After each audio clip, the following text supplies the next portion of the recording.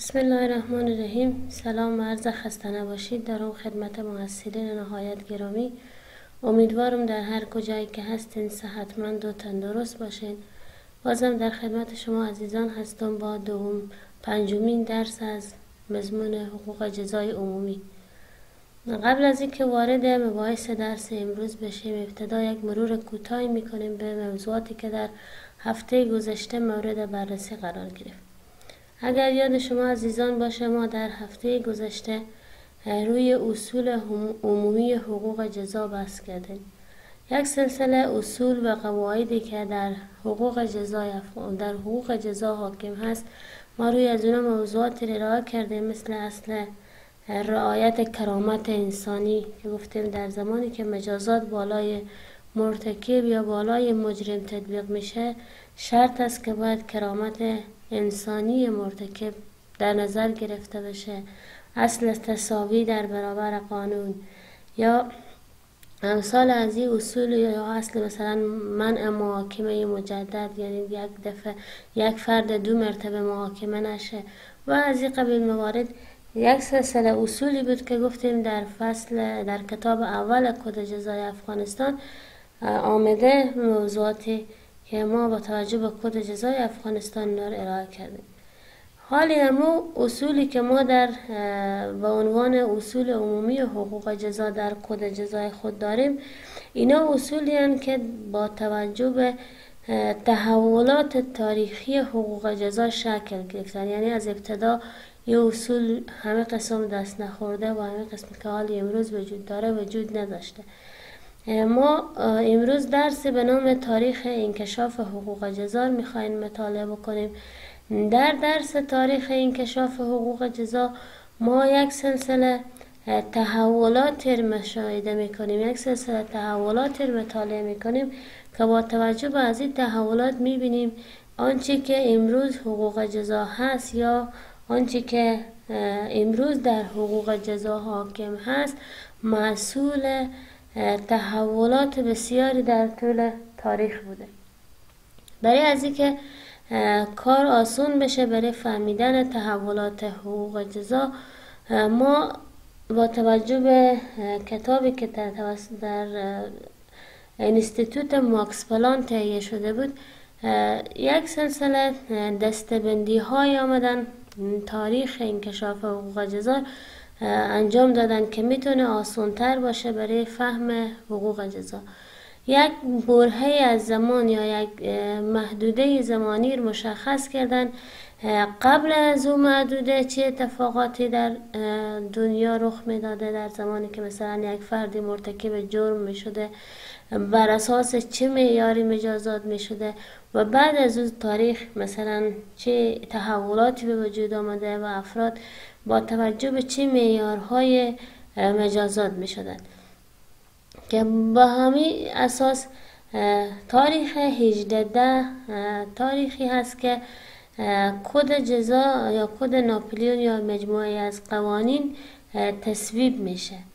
به همون خاطر همو تاریخ به عنوان تاریخ دستبندی حقوق جزا می‌دانند. در همین کتاب حقوق جزا در دو دوره تاریخی مورد بررسی قرار گرفته. یک دوران قدیم قبل از اینکه کد ناپلیون یا کد 18 یا همون مجموع قوانین در همون تاریخ به تصویب برسه و یک دوران جدید است و تحولاتی که بعد از تصویب کد ناپلیون به وجود آمده. بعد از تصویب از کد یا بعد از به وجود آمدن از کد چه اتفاقات افتاده؟ این تحولات در دو زمان مورد بررسی قرار میده. آنچه در دوران قبل از کد ناپلیون اتفاق افتاده. ما حقوق جزار می‌بینیم که به سه دوره تقسیم می‌کنن. در دوران دوره جنگ های خصوصی است. دوره هر کدام از خود خود یک سلسله ویژگی ها خصوصیات و فعالیت های دارن یا ملاخره یک سلسله ویژگی های دارن که او از دوره دیگر متمایز می‌کنه. دوره جنگ های خصوصی هست دوره عدالت خصوصی است و دوره عدالت عمومی. اینا سه دوره هن که قبل از تصویب کد ناپلیون این دوره ها وجود داشته.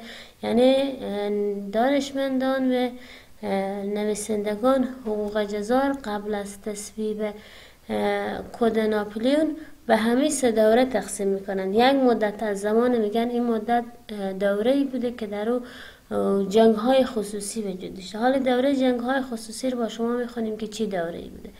یک برهه از زمان دوره عدالت خصوصی می‌دونن و یک دوره هم دوره عدالت عمومی. بعد زمان می‌رسه که تحولات جدیدی در حقوق جزا رخ میده.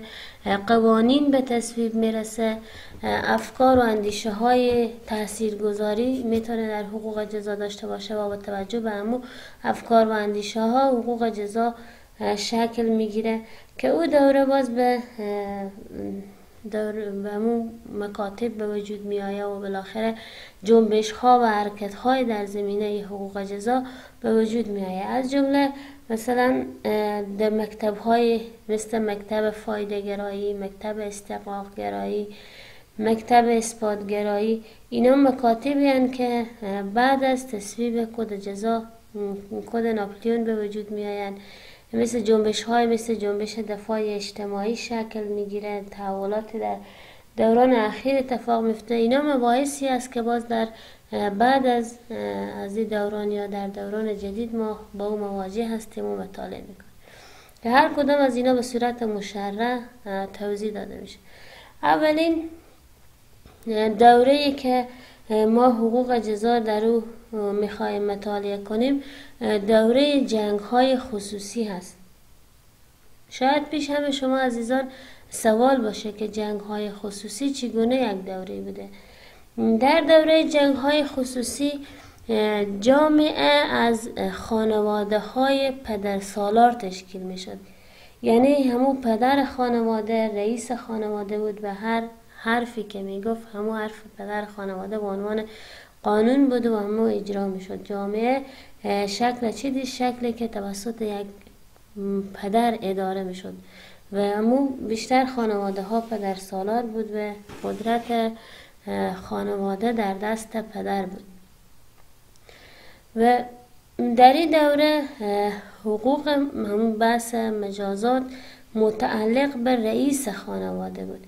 ای که کسی مثلا تخطی می‌کرد کسی تخلف انجام می‌داد در خانواده مسئولیت از که او شخص کسی مجازات بکنه یا کسی فرض مثال کیفری برای از او بده او به عهده رئیس خانواده بود که معمولا همو پدر یا بزرگی که در خانواده وجود داشت او مسئولیت مجازات کردن همو فرد مرتکبه یا فردی که به اصطلاح مرتکب گناه یا جرم شده بود باید چی بشد به عهده از او. بعضا خب خانواده های بزرگتر وجودش خانواده های بزرگتر باز از طریق یک نیای مشترک به همدیگر همبستگی پیدا می‌کردن. نیا یا همون یک نوع دین مشترک یا یک روش مشترک بود که اینا همه به او باور داشتن و از طریق از اونا از او پیروی می‌شد. در حقیقت مثل از که خانواده در رأس از او پدر وجودیش باز چند چندین خانواده که با هم یکجا می شدن قبیله تشکیل می‌دادند که در رأس قبیله یک رئیس شخصی به نام رئیس قبیله وجودیش که باز مسئولیت از او رئیس قبیله بود که با شخص مثلا فرض مثال چی کنه؟ مجازات بکنه کسایی که مرتکب گناه یا مرتکب جرم میشه. یکی دیگر از ویژگی هایی که در این دوره وجود داره این هست که جرم یا گناه علیه خدایان دلیل بیماری یا بلا دانسته میشه به این معنی که اگر کسی از اعضای خانواده یا از اعضای قبیله جرمی را انجام می‌داد یا فرض مثال توهینی مثلا برای خدایان می‌کرد یا بالاخره قایده ای از همون دساتیری که فرض مثال در همون دین از اون حاکم بود زیر پا می‌کرد این عمل قبیل دلیلی بر همو گناه دست جمعی خود خو می‌دونستن دلیلی بر بلای می‌دونستن که در بسر از اونا قرار است بیاید و همه با هم به صورت دست جمعی به دنبال ازی بودن که بتونن همی بلا رفع بکنن. نه ای که دنبال ازی باشن که مثلا مجرم پیدا کنن و او مجازات بکنن نه بلکه همه به دنبال ازی بودن در او دوران که چی بشه؟ که به صورت گروهی توبه می‌کردن به پیشگویی ها میپرداختن به استقاسه میپرداختن تا اینکه همون بلا یا بیماری از قبیله از اونا گم بشه. یک موضوع دیگه که در این دوره وجود داشت بحث مسئولیت مشترک بود. یعنی جرم یک عمل شخصی نبود. اگر کسی از اعضای یک خانواده بر علیه خانواده دیگر فرض مثال مرتکب جرم می‌شد جرم از این فرد یا گناهی از این فرد دامنگیر تمام افراد خانواده و افراد قبیله از او بود. و این قسم نبود که فرض مثال اگر یکی از یک قبیله فرد دیگری از قبیله دیگر از بین می‌برد تنها خود از او مجازات می‌شد. بلکه این گناهی از او دامنگیر تمام افراد قبیله می‌شد. مسئولیت به صورت مشترک بود. همه قبیله باید پاسخ می‌داد. و همین سبب می‌شد که با انجام یک گناه نسبت به یک قبیله دیگر جنگ های بسیار بزرگ بین قبایل رخ بده. حتی مسئولیت تا جایی بود که به قبایل هم پیمان همی فردی که مثلا مرتکب جرم شده سرایت می‌کرد. تا کسانی که مثلا با همه قبیله هم پیمان بودن اونا هم باید تقاس گناهی که این فرد مرتکب شده باید میپرداختن. به همه خاطر جنگ های بزرگ بین قبایل اتفاق میفتاد بعضا به خاطر یک فرض مثال گناه بسیار خورد یا یک جرم بسیار خورد ممکن بود که قبایل از بین بره. کلا یا اعضای قبیله فرض مثال تمام همو دارایی خو یا فرض مثال چیزی که آید کرده بودن همه را از دست بدن. تعدی به یک فرد از قبیله تعدی به تمام قبیله محسوب می شد در دوران. و همه موضوع خطر همه بس مسئولیت جمعی یا مسئولیت مشترکی که در زمان وجودیش همه اتفاقاتی که بعد از ارتکاب یک جرم ممکن بود در بین قبایل اتفاق بفته یک خاصیت بازدارندگی داشت و افراد کم جرأت می‌کردن که دست به ارتکاب جرم نسبت به افراد قبایل دیگر بزنند. فرض مثال مخصوصا در بحث قبایلی که یا نیرو از اونا کمتر بود یا ضعیفتر بودن بسیار چی بود که خیلی زود آسیب پذیر می شدن و خیلی زود ممکن بود به خاطر گناه یک فرد قبیله کلا از بین بره. از او خاطر همه یک جنبه بازدارندگی دیش و افراد کمتر جرأت می‌کردند که دست به ارتکاب جرم بزنن اما زمانی که باز قبایل مثلا قبیله بزرگتر بود یا که قدرت و نیروی بیشتر داشتی در, در اون قسمت باز ممکن بود که او خیلی راحتتر بتونه نسبت به فردی که از یک قبیله فرض مثال کم ضعیفتر بود مرتکب جرم بشه.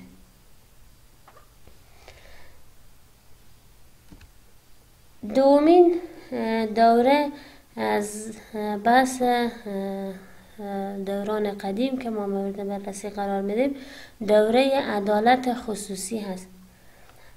این دوره هم دارای یک سلسله ویژگی های است. با توجه به آنچه ما در دوره قبلی خوندیم اول گفتیم که در این دوره مسئولیت به صورت جمعی بود. وقتی مسئولیت به صورت جمعی بود. گفتیم تعدی به یک فرد سبب می‌شد. تعدی به یکی از اعضای یک گروه سبب می‌شد که جنگ های سنگینی رخ بده. افراد قبایل از بین برن. ممکن بود بعضی از قبایل کلا در همین جنگ ها از بین بره. به خاطر همین در دوره عدالت خصوصی یک سلسله تغییراتی به وجود آمد یک سلسله ابداعاتی به وجود آمد مردم به این فکر افتادن که همین جنگ ها هزینه بسیار گذافی داره و این سبب میشه که نیروهای اصلی قبایل تباه و کشته بشن. حتی حیات جمعی گروه یا قبیله در معرض تباهی و حذف قرار می گرفت از او خاطر آمدن با یک سلسله تغییرات در همین روند آمدن سبب شدن که تا همو روندی که در قبل پیش گرفته بودن یک اصلاحات در او به وجود بیارن.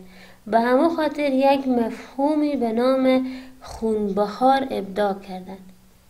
مفهومی به نام خونبهار جایگزین همو جنگ های شد که بین قبایل اتفاق افتاد. اگر کسی از یک فردی از یک قبیله دیگر اگر فرد به قتل میرسان اولا که شخص خود از او مسئول بود و بعد از او هم خونبه از او باید توسط همو قبیله پرداخته می‌شد. موضوع بعدی در همین زمان یک سلسله تغییراتی در ساختار اجتماعی همو جامعه هم به وجود می آید از از جمله ای که شهرها ایجاد میشن پیدایش شهرها در قبل محدوده همو چی محدود بود گروه های اجتماعی. محدود به قبیله ها بود. منتها همه گروه های اجتماعی کم کم نفوذ از اونا زیاد میشه شهرها ایجاد میشن.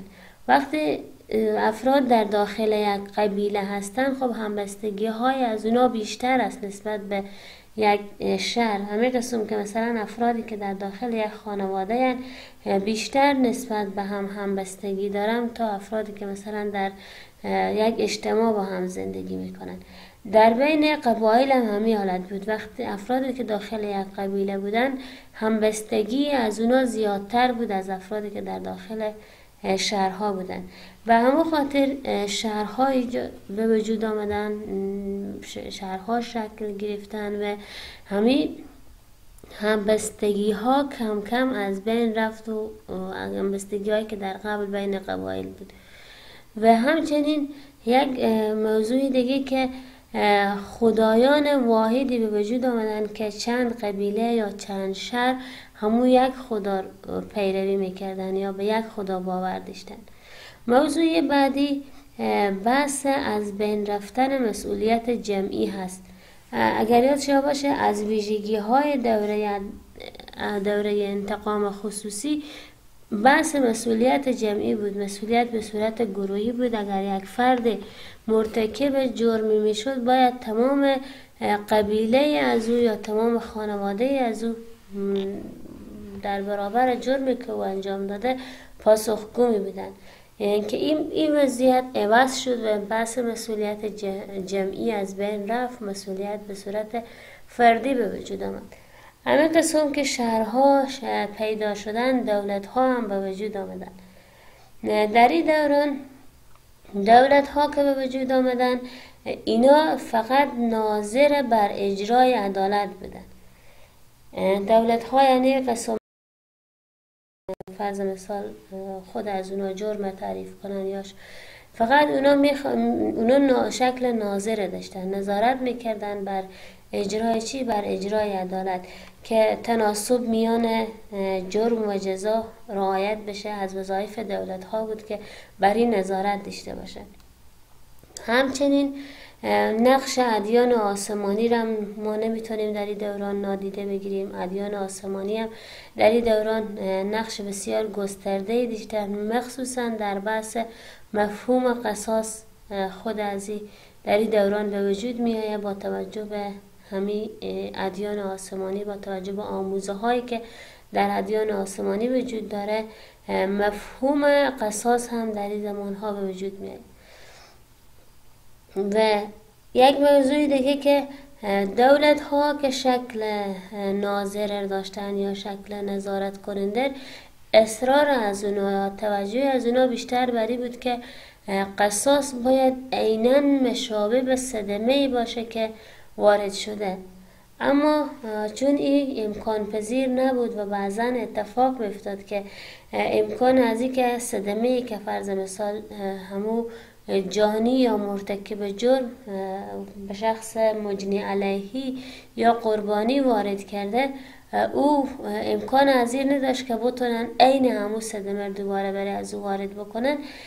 باعث شد که مسئله قرامت یا همو جبران خساره به وجود بیایه و در کنار از او دولت ها یک مقدار معینی برای خود خوب برای صندوق بیت المال می گرفتن از مرتکب که به نام جریمه نقدی یاد می شد که این مربوط می‌رفت به خزانه دولت یا به, به همون بیت المال که اینا از اتفاقاتی بود یا از تحولاتی بود که در این دوره به وجود آمد. اما باید با همون بحثی که ما در دوره عدالت دوره انتقام خصوصی داشتیم. باز هم مواجهیم او که ماهیت خصوصی داشتن جرم. جرم هنوز ماهیت خصوصی داره. هنوز جنبه عمومی پیدا نکرده. اصلا در زمان هنوز جرایمی بر علیه نظم عمومی یا جرایم بر علیه دولت هنوز شکل نمی‌گیره. یا هنوز معنی پیدا نمی‌کنه. هنوز جرم ماهیت خصوصی داره و فقط بین افراد بین اشخاص خصوصی هست که جرایم اتفاق میفته و ابتکار طرح دعوا هم با مجنی علیهی بود. یعنی که دولت ها فقط ناظر بودن و دولت ها صلاحیت حاضر نداشتن که فرض مثال از طرف قربانی به طرح دعوا بکنن. بلکه خود قربانی یا خود مجنی علیهی بود که می‌تونست تقاضا بکنه که فرض مثال از ناحیه یک فرد متضرر شده و تقاضای مجازات از داره. ای به دست خود کی بود؟ به دست خود مجنی علیهی بود. دولت ها فقط همه قسم که گفتم ناظر بودن و فقط نقش نظارت کننده ایفا می‌کرد. جرایم هم به جرایمی که ناظر بر روابط خصوصی افراد بود محدود می‌شد. یعنی تمام جرایم جرایمی بود که در روابط خصوصی افراد اتفاق میفتاد یک قسم نبود که جرایم بر علیه نظم عمومی یا جرایم بر علیه دولت وجود داشته باشه. بحث دیگه که در این مورد بود مسئله خونبه ها توافقی بود در این زمان هر چقدر که خانواده های قربانی با خانواده کسی که مثلا مرتکب جرم شده توافق می‌کردن همو قسم همو مقدار پرداخت می‌شد. یعنی مقدار معینی وجود نداشت که باید حتما همین مقدار پرداخته بشه. دیگه بحث قسامه هم در او زمان وجود دیش اصل شخصی شدن مسئولیت کم کم در این زمان شکل می‌گیره. همه قسم که گفتم مسئولیت جمعی از بین میره. مسئولیت جمعی که در دوره انتقام خصوصی وجود داره در دوره عدالت خصوصی کم کم رنگ خور از دست میده و تبدیل میشه به مسئولیت شخصی. یعنی شخصی که مرتکب جرم شده باید پاسخگوی عمل خود باشه. نه ای که تمام اعضای خانواده یا اعضای قبیله از بس مسئله قصاص دیه های ثابت جریمه های نقدی اینا همه از ابداعات یا تأسیسات حقوقی هن که در همین دوره به وجود می آید. اما تا امروز در حال تغییر و در حال انکشاف و تبدیل شدن اینا منتها از همو دوره همو ابتدا یا پایه از اونا یا همون ریشه های از اونا در همین زمان ها گذاشته میشه. درس امروز ما در همه قسمت خاتمه پیدا می‌کنه. ما در جلسه ای امروز روی تحولات حقوق جزا در دوران قدیم مطالعه کردیم. دوره انتقام خصوصی و دوره عدالت خصوصی بسیار صورت خلاصه مطالعه کردیم. دوستان عزیز به خاطر معلومات بیشتر می‌تونیم چپتر یا کتاب جزای عمومی افغانستان که توسط ماکس پلان تهیه شده بحث انکشاف حقوق جزا از رو از این کتاب مطالعه بکنید.